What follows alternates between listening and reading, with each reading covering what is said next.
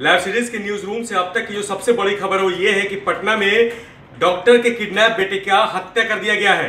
आपको बता दें कि होम्योपैथ के डॉक्टर शशिभूषण के बेटे का अपहरण हो गया था। उसके बाद उसकी बॉडी को रिकवर किया गया है। पटना के आरपीएस मोड़ पर इंजीनियरिंग कॉलेज के पास से उसकी बॉडी को पुलिस ने रिकवर किया है। पुलिस ने शिवम की बॉडी को आरपीएस मोड़ पर इंजीनियरिंग कॉलेज के पास से बरामद किया है। शिवम की बॉडी पर जिस तरह से चाकुओं के निशान मिले हैं, उससे साफ़ ज़ाहिर होता है कि उसकी हत्या चाकू मारकर की गई है। शिवम की बॉडी मिलने के बाद से पटना पुलिस की जाँच इस मामले में और तेज हो गई है।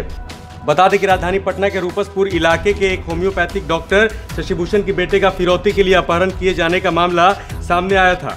शुक्रवार को डॉक्टर शशिभूषण को इस मामले में फिरौती के लिए 50 लाख रुपए मांगे जाने की बात सामने आई थी, जिसके बाद वो पुलिस के पास पहुँचे थे और रूपसपुर थाने में इस मामले में एफआईआर दर्ज कराई थी। वहीं फिरौती के लिए फ़ोन आने के बाद पटना पुलिस ने पहले इसे किडनैपिंग नहीं माना, लेकिन फिर बाद में जाँच शुरू हुई। और आखिरकार शिवम की बॉडी बरामद कर ली गई है। आपको बता दें कि घटना के बाद से तत्काल रूपसपुर थाने में संपर्क किया गया। पुलिस को घटना की जानकारी उसके पिता के द्वारा दी गई। मामला संज्ञान में आते ही पटना पुलिस की विशेष सेल की टीम ने इस मामले में छापेमारी करना शुरू कर दिया।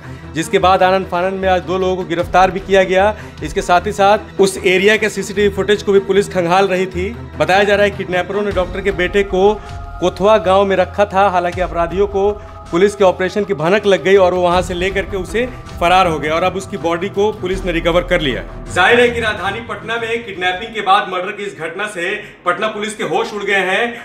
पटना पुलिस लगातार इस मामले में छापेमारी कर रही थी, शिवम को बरामद करने की कोशिश कर रही थी, लेकिन इसी बीच खबर आई कि उसकी बॉडी को रिकवर कर लिया गया है। फ़िलहाल पुलिस इस मामले में दो लोग गिरफ़्तार किया है, पूछताछ कर रही है। हम आपको बिहार समेत तमाम देश दुनिया की खबरों से लगातार अपडेट रख रहे हैं। हमारे यूट्यूब चैनल पर जाइए, उसको सब्सक्राइब करिए। इसके साथ ही साथ हमारे फेसबुक पेज को भी ज़रूर लाइक करें।